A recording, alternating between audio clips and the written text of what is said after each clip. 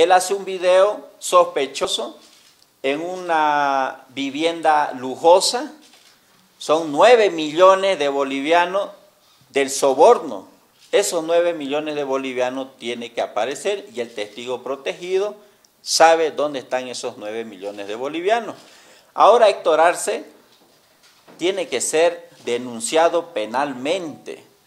Estos procesos que inicia Héctor Arce son fabricados por él mismo porque él está mirando licitaciones, contratos, va, está utilizando el cargo de diputado para ver beneficiarse económicamente. Ya el Ministerio de Obras Públicas debería ya procesar a Héctor Arce y estos diputados que están alcahueteando a Héctor Arce no va a tener mucho fruto. No procede una interpelación al ministro de Justicia cuando sale a decir la verdad.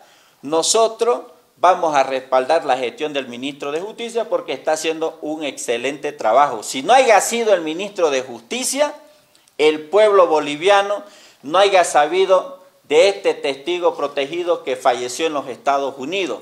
Si no haya sido el ministro de Justicia, el pueblo boliviano no iba a saber que el testigo protegido se escapó a los Estados Unidos. Ya se convirtió de ser testigo protegido a un prófugo de la justicia. Él tenía que aclarar todo ese proceso. No lo ha hecho.